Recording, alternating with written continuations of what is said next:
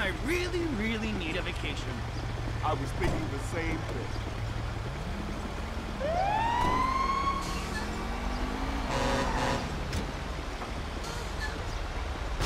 Oh, oh,